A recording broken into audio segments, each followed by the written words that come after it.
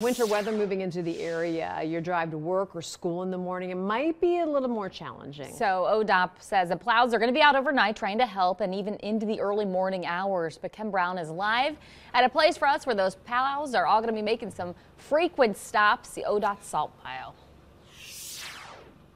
Yeah, challenging is one word to describe the morning commute. Miserable is another one that I've heard thrown around today by people who are going to be treating these roads. They do not expect it to be good conditions out there, but ODOT has the stockpile of salt ready to go. They've got their trucks over my shoulder here fully prepped. They're ready to hit the road this evening as well. And some work has been done ahead of time inside ODOT's building, which is over my shoulder here, as they review their routes and continue to monitor the forecast.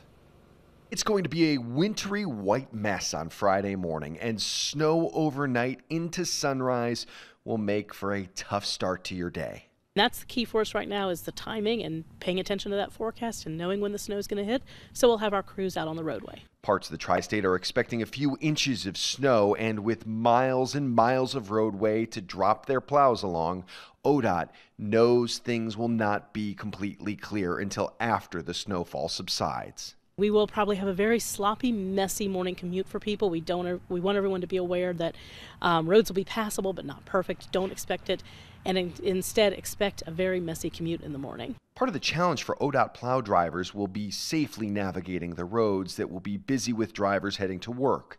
They're also issuing a warning to drivers to be cautious around their trucks. A driver's line of sight is limited, and their plows create their own plumes of snow that can limit what you are able to see if you're driving near one the snow cloud is one thing that's blowing up away from that plow. And so it is very difficult to see through that that you know just imagine when you have a complete whiteout condition when it's uh, just nothing but a blanket of snow coming down all at once. It's the same thing but even worse when you're on the roadway because you can't see through it. So you can't see to the other side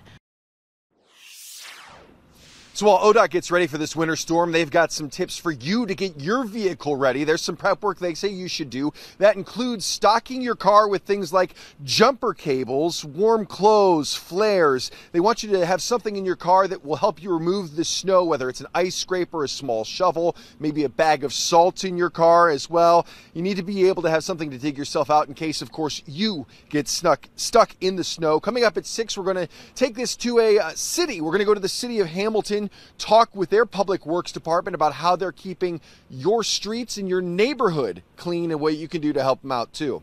Reporting live in Butler County, Ken Brown, Fox 19 Now. Thank you, Ken Brown. It's a great time to download the free Fox 19 Now weather app. It's going to send you alerts when the snow moves into your area. You can simply scan that QR code to get it straight to your mobile device.